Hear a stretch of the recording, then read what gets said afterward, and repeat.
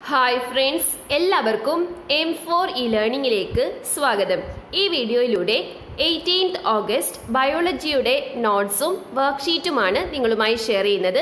ഈ വീഡിയോ നിങ്ങൾക്ക് യൂസ്ഫുൾ ആയിരിക്കുമെന്ന് വിചാരിക്കുന്നു. സബ്സ്ക്രൈബ് ചെയ്യാനും ഷെയർ ചെയ്യാനും മറക്കരുത്. സബ്സ്ക്രൈബ് ബട്ടന്റെ തൊട്ടടുത്തുള്ള ബെല്ലൈക്കണിൽ ഓൾ കൂടി മറക്കാതെ എനേബിൾ ചെയ്ത് വെച്ചിരിക്കണം.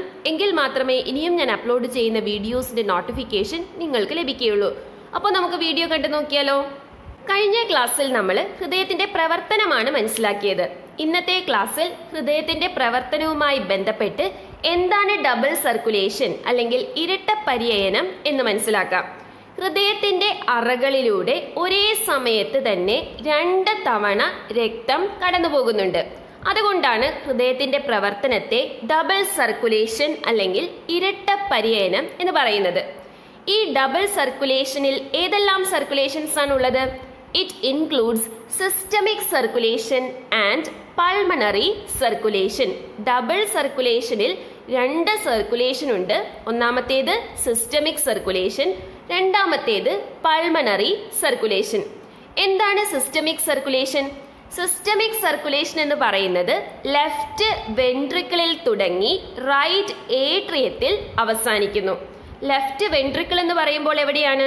ദാ ഇവിടെയാണ് ലെഫ്റ്റ് വെൻട്രിക്കിൾ ലെഫ്റ്റ് വെൻട്രിക്കിളിൽ ഏത് രക്തമാണുള്ളത്? ശുദ്ധമായ ഓക്സിജൻ അടങ്ങിയ രക്തമാണല്ലേ? ലെഫ്റ്റ് വെൻട്രിക്കിളിൽ നിന്നും അയോർട്ട വഴി ഈ ശുദ്ധമായ രക്തം ശരീരത്തിന്റെ വിവിധ ഭാഗങ്ങളിലേക്ക് എത്തുന്നു. പിന്നീട് ശരീരത്തിന്റെ വിവിധ ഭാഗങ്ങളിലേക്ക് വേണ്ട ന്യൂട്രിയൻസും ഓക്സിജനും എല്ലാം സപ്ലൈ ചെയ്ത ശേഷം ഡീഓക്സിജനേറ്റഡ് ബ്ലഡ് അല്ലെങ്കിൽ കാർബൺ ഡയോക്സൈഡ് അടങ്ങിയ ബ്ലഡ് എവിടേക്ക് എത്തുന്നു? റൈറ്റ് ഏട്രിയത്തിലേക്ക് വീനക്കാവ വഴി എത്തുന്നു. ഈ ഒരു സർക്യൂട്ടാണ് സിസ്റ്റമിക് സർക്യൂട്ട് അല്ലെങ്കിൽ സിസ്റ്റമിക് സർക്കുലേഷൻ എന്ന് പറയുന്നത്. മനസ്സിലായല്ലോ? ഇനി എന്താണ് pulmonary circulation? The circulation which starts from right ventricle and ends in left atrium is called pulmonary circulation pulmonary circulation എവിടെയാണ് ആരംഭിക്കുന്നത്?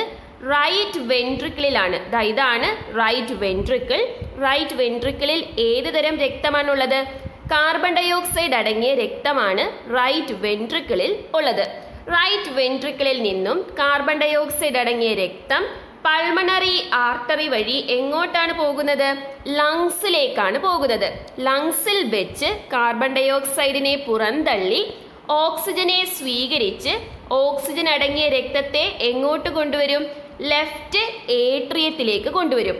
സോ റൈറ്റ് വെൻട്രിക്കിളിൽ നിന്ന് ആരംഭിച്ച് ലെഫ്റ്റ് ഏട്രിയത്തിൽ അവസാനിക്കുന്ന സർക്കുലേഷനാണ് എന്ത് പൾമണറി സർക്കുലേഷൻ. മനസ്സിലായല്ലോ? അതേ സമയത്ത് സിസ്റ്റമിക് സർക്കുലേഷൻ എവിടെ തുടങ്ങി എവിടെ അവസാനിക്കുന്നു? ലെഫ്റ്റ് വെൻട്രിക്കിളിൽ തുടങ്ങി എവിടെ അവസാനിക്കുന്നു? റൈറ്റ് ഏട്രിയത്തിൽ അവസാനിക്കുന്നു. മനസ്സിലായല്ലോ? ഇനി നമ്മളിപ്പോൾ കണ്ട ഡബിൾ സർക്കുലേഷൻ അല്ലെങ്കിൽ ഇരട്ട പര്യനത്തിന്റെ ഫ്ലോ ചാർട്ടാണ് ഇവിടെ കാണിച്ചിട്ടുള്ളത്. ഇത് നിങ്ങൾക്ക് വർക്ക്ഷീറ്റ് ആയിട്ട് ചെയ്യാനുമുണ്ട്. സോ ഇത് നമുക്ക് ഡിസ്കസ് ചെയ്യാം. ഓക്കെ നമുക്കറിയാം ഡബിൾ സർക്കുലേഷനിൽ രണ്ട് സർക്കുലേഷൻ ഉണ്ട്. ഒന്ന് സിസ്റ്റമിക് പര്യനവും അടുത്തത് പൾമണറി പര്യനവും സിസ്റ്റമിക് സർക്കുലേഷൻ എവിടെ ആരംഭിച്ച് എവിടെയാണ് അവസാനിക്കുന്നത്? ഇടത് വെൻട്രിക്കിളിൽ ആരംഭിച്ച് വലത് ഏട്രിയത്തിൽ അവസാനിക്കുന്നു. എന്നാൽ പൾമണറി സർക്കുലേഷൻ എവിടെ ആരംഭിച്ച് എവിടെ അവസാനിക്കുന്നു? വലത് വെൻട്രിക്കിളിൽ ആരംഭിച്ച് ഇടത് ഏട്രിയത്തിൽ അവസാനിക്കുന്നു. ഇനി നമുക്ക് ഈ സർക്കുലേഷന്റെ പാത്ത് നോക്കാം. ആദ്യം തന്നെ സിസ്റ്റമിക് പര്യനം അല്ലെങ്കിൽ സിസ്റ്റമിക് സർക്കുലേഷൻ ആണ്. ഇടത് വെൻട്രിക്കിൾ അല്ലെങ്കിൽ ലെഫ്റ്റ് വെൻട്രിക്കിളിൽ നിന്നും ശുദ്ധമായ രക്തം അയോർട്ട അല്ലെങ്കിൽ മഹാധമനി വഴി ശരീരത്തിന്റെ വിവിധ ഭാഗങ്ങളിലേക്ക് എത്തുന്നു. ശരീരത്തിന്റെ വിവിധ ഭാഗങ്ങളിലേക്ക് ഓക്സിജനെയും ന്യൂട്രിയൻസിനെയും എത്തിച്ച് അവിടെ നിന്നും ഡീഓക്സിജനേറ്റഡ് ബ്ലഡ് അല്ലെങ്കിൽ കാർബൺ ഡയോക്സൈഡ് അടങ്ങിയ രക്തത്തെ മഹാസിര വഴി എവിടേക്ക് എത്തിക്കുന്നു? വലത് ഏട്രിയത്തിലേക്ക് എത്തിക്കുന്നു. ഇത്രയുമാണ് സിസ്റ്റമിക് പര്യനം അല്ലെങ്കിൽ സിസ്റ്റമിക് സർക്കുലേഷൻ വലത് ഏട്രിയത്തിൽ ഇപ്പോൾ ഏത് തരം ബ്ലഡ് ഉള്ളത് കാർബൺ ഡയോക്സൈഡ് അടങ്ങിയ ബ്ലഡ് ഉള്ളത് അത് എങ്ങോട്ടേക്ക് പോകും? വലത് വെൻട്രിക്കിൾ അല്ലെങ്കിൽ റൈറ്റ് വെൻട്രിക്കിളിലേക്ക് പോകുന്നു. ഇനി ഇവിടെ നിന്നും തുടങ്ങുന്നത് പൾമണറി സർക്കുലേഷൻ ആണ്. വലത് വെൻട്രിക്കിളിൽ നിന്നും ശ്വാസകോശ ധമനി അല്ലെങ്കിൽ പൾമണറി ആർട്ടറി വഴി കാർബൺ ഡയോക്സൈഡ് അടങ്ങിയ ബ്ലഡ് എങ്ങോട്ട് പോകുന്നു? ശ്വാസകോശങ്ങൾ അല്ലെങ്കിൽ ലങ്സിലേക്ക് പോകുന്നു. ലങ്സിലെത്തിയ ഈ ഡിയോക്സിജനേറ്റഡ് ബ്ലഡ് കാർബൺ ഡയോക്സൈഡിനെ പുറംതള്ളി ഓക്സിജനെ സ്വീകരിച്ച് പൾമണറി വെയിൻ അല്ലെങ്കിൽ ശ്വാസകോശ സിര വഴി എവിടേക്ക് എത്തും ഇടത് ഏട്രിയത്തിലേക്ക് എത്തുന്നു. ഇതോടുകൂടി പൾമണറി സർക്കുലേഷൻ അവസാനിക്കുന്നു. ഇടത് ഏട്രിയത്തിലെത്തിയ ഈ ശുദ്ധമായ രക്തം പിന്നീട് എങ്ങോട്ട് പോകുന്നു? ഇടത് വെൻട്രിക്കിൾ അല്ലെങ്കിൽ ലെഫ്റ്റ് വെൻട്രിക്കിളിലേക്ക് പോകുന്നു. പിന്നെയും ഈ സർക്കുലേഷൻ ഇതേപോലെ തന്നെ കണ്ടിന്യൂസ് ആയിട്ട് നടന്നുകൊണ്ടിരിക്കുകയാണ്. മനസ്സിലായല്ലോ? ഇനി അടുത്തതായി നമുക്ക് പഠിക്കാനുള്ളത് പോർട്ടൽ സർക്കുലേഷനെ കുറിച്ചാണ്. എന്താണ് portal circulation certain veins do not reach the heart and they carry blood from organ to organ. നമ്മൾ പഠിച്ചിരിക്കുന്നത് വെയിൻസ് ബ്ലഡിനെ എങ്ങോട്ട് എത്തിക്കുന്നു എന്നാണ്? ഹൃദയത്തിലേക്ക് എത്തിക്കുന്നു എന്നാണ്. എന്നാൽ ചില വെയിൻസ് ഹൃദയത്തിലേക്ക് രക്തത്തിനെ എത്തിക്കുന്നതിന് പകരം ഒരു ഓർഗനിൽ നിന്നും മറ്റൊരു ഓർഗനിലേക്കാണ് എത്തിക്കുന്നത്. അതായത് ഒരു അവയവത്തിൽ നിന്നും മറ്റൊരു അവയവത്തിലേക്ക് ബ്ലഡിനെ എത്തിക്കുന്നു.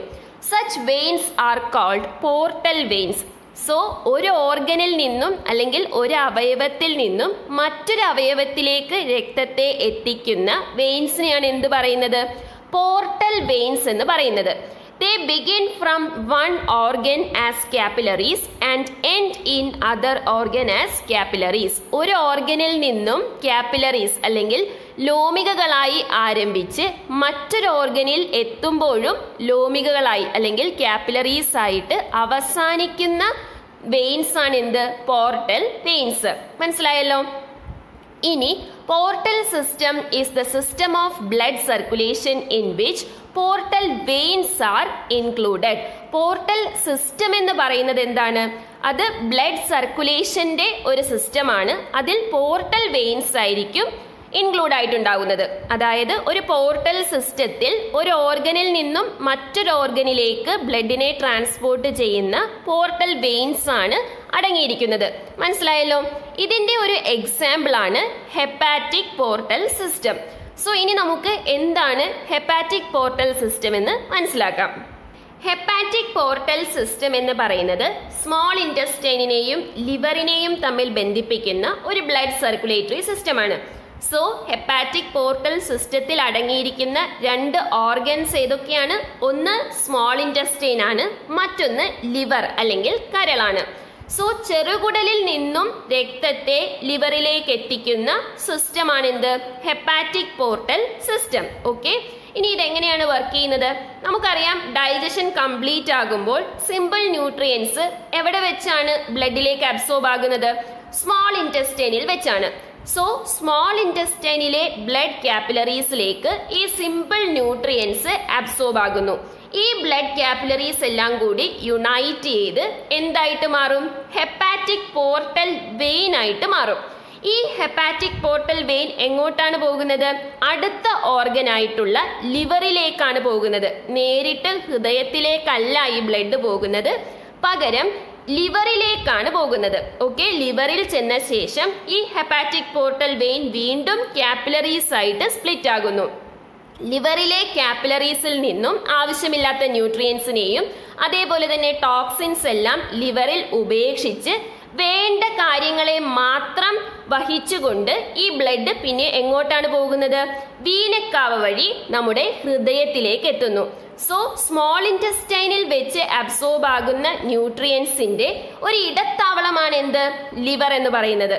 അവിടെ വേണ്ടാത്തതിനെല്ലാം ഉപേക്ഷിച്ച് കുറേ പ്രോസസ് ഒക്കെ നടത്തി വേണ്ട കാര്യങ്ങളെ മാത്രം വഹിച്ചുകൊണ്ടാണ് ബ്ലഡ് എങ്ങോട്ട് പോകുന്നത്? ഹൃദയത്തിലേക്ക് പോകുന്നത്. അപ്പോൾ എന്താണ് ഹെപ്പാറ്റിക് പോർട്ടൽ സിസ്റ്റം എന്ന് മനസ്സിലായല്ലോ? ഇനി ഹെപ്പാറ്റിക് പോർട്ടൽ സിസ്റ്റത്തിന്റെ ഫ്ലോ ചാർട്ട് അല്ലെങ്കിൽ സിമ്പിൾ ന്യൂട്രിയൻസ് ഹൃദയത്തിലേക്ക് എത്തുന്ന ആ ഒരു പാത്താണ് ഇവിടെ കൊടുത്തിട്ടുള്ളത്. ആദ്യം തന്നെ സിമ്പിൾ ന്യൂട്രിയൻസ് എങ്ങോട്ടാണ് അബ്സോർബ് ആകുന്നത്? കുടലിലെ ലോമികകൾ അല്ലെങ്കിൽ കാപ്പിലറീസ് ഇൻ ഇന്റസ്റ്റൈൻ അവിടെ നിന്നും ഹെപ്പാറ്റിക് പോർട്ടൽ സിര വഴി അല്ലെങ്കിൽ ഹെപ്പാറ്റിക് പോർട്ടൽ വെയിൻ വഴി എങ്ങോട്ടേക്ക് എത്തുന്നു? കരളിലെ ലോമികകൾ അല്ലെങ്കിൽ കാപ്പിലറീസ് ഇൻ ദ ലിവർ അതിൽ നിന്നും അതെങ്ങോട്ട് പോകും? കരൾ അല്ലെങ്കിൽ ലിവർ എന്ന ഓർഗനിൽ എത്തുന്നു. അവിടെ വേണ്ട എക്സ്ചേഞ്ചുകളെല്ലാം നടത്തി ഹെപ്പാറ്റിക് സിര അല്ലെങ്കിൽ ഹെപ്പാറ്റിക് വെയിൻ വഴി വീനക്കാവയിലേക്ക്. പിന്നെ വീനക്കാവയാണ് ഈ ബ്ലഡിനെ എങ്ങോട്ട് എത്തിക്കുന്നത്? ഹൃദയം അല്ലെങ്കിൽ ഹാർട്ടിലേക്ക് എത്തിക്കുന്നത്. മനസ്സിലായല്ലോ? സോ ഇതാണ് സിമ്പിൾ ന്യൂട്രിയൻസിന്റെ ഒരു പാത്ത് അതായത് സിമ്പിൾ ന്യൂട്രിയൻസ് സ്മോൾ ഇന്റസ്റ്റൈനിൽ നിന്നും ഹൃദയത്തിലേക്ക് എത്തുന്ന പാത്താണ് ഈ പറഞ്ഞിരിക്കുന്നത്. ഇത് തന്നെയാണ് എന്ത്? ഹെപ്പാറ്റിക് പോർട്ടൽ സിസ്റ്റവും മനസ്സിലായല്ലോ? ഇനി എന്തുകൊണ്ടാണ് സിമ്പിൾ ന്യൂട്രിയൻസ് ലിവറിലേക്ക് എത്തുന്നത്? സിമ്പിൾ ന്യൂട്രിയൻസ് അടങ്ങിയിരിക്കുന്ന ബ്ലഡിനെ വേണമെങ്കിൽ നേരിട്ട് ഹൃദയത്തിലേക്ക് എത്തിക്കാമായിരുന്നു. അങ്ങനെ ചെയ്യാതെ ഇടത്താവളമായിട്ട് ലിവറിന്റെ അടുത്തേക്ക് പോകുന്നത് എന്തുകൊണ്ടാണ്? അതിനെക്കുറിച്ചാണ് ഇനി പറയാൻ പോകുന്നത്. Liver is a centre of metabolism നമ്മുടെ ശരീരത്തിന്റെ ഉപാപചയ പ്രവർത്തനങ്ങളുടെ സെന്റർ അല്ലെങ്കിൽ കേന്ദ്രം ഏതാണ്? ലിവറാണ്. നമ്മുടെ ശരീരത്തിലെ ഏറ്റവും വലിയ ഓർഗനും ലിവർ തന്നെയാണ്. Simple nutrients undergo several changes in liver ഈ സിമ്പിൾ ന്യൂട്രിയൻസ് ലിവറിൽ എത്തിയ ശേഷം ചില മാറ്റങ്ങളൊക്കെ സംഭവിക്കുന്നുണ്ട്. എന്തൊക്കെയാണ്? Storage of glucose in the form of glycogen അതായത് നമുക്കറിയാം ഗ്ലൂക്കോസ് ഒരു സിമ്പിൾ ന്യൂട്രിയന്റ് ആണ്. ഗ്ലൂക്കോസിനെ ഗ്ലൈക്കോജൻ ആക്കി എവിടെ സംഭരിക്കുന്നുണ്ട്? ലിവറിൽ സംഭരിക്കുന്നുണ്ട്. പിന്നീട് വേണ്ട ഗ്ലൂക്കോസ് മാത്രമാണ് ഹൃദയത്തിലേക്ക് പോകുന്ന ബ്ലഡിൽ ഉണ്ടാവുകയുള്ളൂ. ബാക്കിയുള്ളത് ഗ്ലൈക്കോജനാക്കി എവിടെ സൂക്ഷിച്ചു വെക്കും? ലിവറിൽ സൂക്ഷിച്ചു വെക്കും. Okay? Now releasing energy from fatty acids fatty ആസിഡിൽ നിന്നും ഊർജം സ്വതന്ത്രമാക്കുന്നതും ആരാണ്? ലിവറാണ്. അതേപോലെ തന്നെ കൊളസ്ട്രോളിന്റെ നിർമ്മാണവും എവിടെ സംഭവിക്കുന്നുണ്ട്?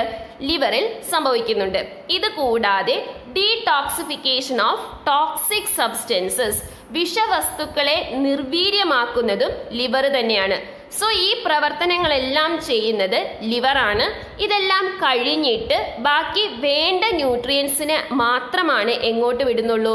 ഹൃദയത്തിലേക്ക് പോകുന്ന ബ്ലഡിലേക്ക് കൊടുക്കുകയുള്ളൂ. മനസ്സിലായല്ലോ? സോ എന്തുകൊണ്ടാണ് ലിവർ ഒരു ഇടത്താവളമാകുന്നത്? അല്ലെങ്കിൽ സിമ്പിൾ ന്യൂട്രിയൻസ് ഹൃദയത്തിലേക്ക് നേരിട്ട് പോകുന്നതിന് പകരം ലിവറിൽ ചെന്ന ശേഷം മാത്രം പോകുന്നത് എന്തുകൊണ്ടാണെന്ന് മനസ്സിലായല്ലോ? ഇനി ഒരു മൂന്ന് ക്വസ്റ്റ്യൻസ് വർക്ക്ഷീറ്റ് ആയിട്ട് തന്നിട്ടുണ്ടായിരുന്നു. അത് നമുക്ക് ഓരോന്നായിട്ട് നോക്കാം. ഒന്നാമത്തേത് peculiarities of portal veins portal വെയിൻസിന്റെ peculiarities എന്തൊക്കെയാണ്? അല്ലെങ്കിൽ പ്രത്യേകതകൾ എന്തൊക്കെയാണ്? Certain veins do not reach the heart and they carry blood from organ to organ ചില സിരകൾ ഹൃദയത്തിൽ എത്താതെ ഒരു അവയവത്തിൽ നിന്നും മറ്റൊരു അവയവത്തിലേക്കാണ് രക്തത്തിനെ കൊണ്ടുപോകുന്നത്. They begin from one organ as capillaries and end in other organ as capillaries. ഒരു ഓർഗനിൽ കാപ്പിലറീസ് ആയി ആരംഭിച്ച് മറ്റേ ഓർഗനിൽ കാപ്പിലറീസ് ആയിട്ട് അവസാനിക്കുന്നു. ഇങ്ങനത്തെ വെയിൻസിനെയാണ് എന്ത് പറയുന്നത്? പോർട്ടൽ വെയിൻസ് അല്ലെങ്കിൽ പോർട്ടൽ സിര എന്ന് പറയുന്നത്. മനസ്സിലായല്ലോ? ഇനി അടുത്ത ക്വസ്റ്റ്യൻ എന്താണ്? The path of simple nutrients from small intestine to heart small ഇന്റസ്റ്റൈനിൽ നിന്നും ഹൃദയത്തിലേക്കുള്ള സിമ്പിൾ ന്യൂട്രിയൻസിന്റെ അല്ലെങ്കിൽ ലഘുഘടകങ്ങളുടെ പാത്താണ് വരയ്ക്കേണ്ടത്. ഓക്കെ സോ ഇത് ഓൾറെഡി നമ്മൾ ഡിസ്കസ് ചെയ്തു. ഹെപ്പാറ്റിക് പോർട്ടൽ സിസ്റ്റത്തിന്റെ ഫ്ലോ ചാർട്ടാണ് ഇവിടെ നിങ്ങൾ പാത്തായിട്ട് വരയ്ക്കേണ്ടത്. ഇനി വീണ്ടും ഡിസ്കസ് ചെയ്യേണ്ടല്ലോ. ഇനി മൂന്നാമത്തെ question write a note on hepatic portal system hepatic portal സിസ്റ്റത്തെ കുറിച്ചൊരു കുറിപ്പ് തയ്യാറാക്കണം ഓക്കെ നമുക്കറിയാം hepatic portal system is a system of veins that starts and ends in capillaries ക്യാപ്പിലറീസിൽ തുടങ്ങി ക്യാപ്പിലറീസിൽ അവസാനിക്കുന്ന സിസ്റ്റം ഓഫ് വെയിൻസ് ആണ് എന്ത് hepatic portal system it carries blood containing simple nutrients to the liver from small intestine അതായത് hepatic portal system എന്താണ് ശരിക്കും ചെയ്യുന്നത്? Simple ന്യൂട്രിയൻസിനെ small ഇന്റസ്റ്റൈനിൽ നിന്നും ലിവറിലേക്ക് എത്തിക്കുന്നു. Blood containing simple nutrients are carried by capillaries in intestine അതായത് സ്മോൾ ഇന്റസ്റ്റൈനിലെ ക്യാപ്പിലറീസ് ആണ് ഈ സിമ്പിൾ ന്യൂട്രിയൻസ് അടങ്ങിയിരിക്കുന്ന ബ്ലഡിനെ ആദ്യം വഹിക്കുന്നത്. ഈ കാപ്പിലറീസ് പിന്നെ യുണൈറ്റ് ചെയ്ത് ഹെപ്പാറ്റിക് പോർട്ടൽ വെയിൻ ആയിട്ട് മാറുന്നു. ഹെപ്പാറ്റിക് പോർട്ടൽ വെയിൻ പിന്നെയും കാപ്പിലറീസ് ആയി മാറി അതിനെ എങ്ങോട്ട് എത്തിക്കുന്നു? ലിവറിലേക്ക് എത്തിക്കുന്നു. ഈ ഒരു സിസ്റ്റമാണ് എന്ത്? ഹെപ്പാറ്റിക് പോർട്ടൽ സിസ്റ്റം എന്ന് പറയുന്നത്. ഓക്കെ സോ ഇന്നത്തെ ക്ലാസ്സിൽ നമ്മൾ പഠിച്ചത് ഡബിൾ സർക്കുലേഷൻ അല്ലെങ്കിൽ ഇരട്ട പര്യനത്തെ കുറിച്ചും അതേപോലെ തന്നെ പോർട്ടൽ സർക്കുലേഷനെ കുറിച്ചുമാണ് സോ ഈ ഒരു വീഡിയോ നിങ്ങൾക്ക് യൂസ്ഫുൾ ആയിട്ടുണ്ടാകുമെന്ന് വിചാരിക്കുന്നു. നിങ്ങളുടെ അഭിപ്രായങ്ങളും നിർദ്ദേശങ്ങളും കമന്റ് അറിയിക്കാൻ മറക്കരുത്. അതുപോലെ തന്നെ ഇതുവരെ നമ്മുടെ ചാനൽ സബ്സ്ക്രൈബ് ചെയ്തിട്ടില്ലാത്ത കൂട്ടുകാർ എന്തായാലും ചാനൽ ഒന്ന് സബ്സ്ക്രൈബ് ചെയ്ത് സപ്പോർട്ട് ചെയ്യണം. അതോടൊപ്പം തന്നെ വീഡിയോയുടെ ലിങ്ക് നിങ്ങളുടെ ഫ്രണ്ട്സിന് ഷെയർ ചെയ്ത് കൊടുക്കാനും മറക്കരുത്. സോ മറ്റൊരു വീഡിയോയിൽ കാണുന്നത് വരെ താങ്ക് ഫ്രണ്ട്സ്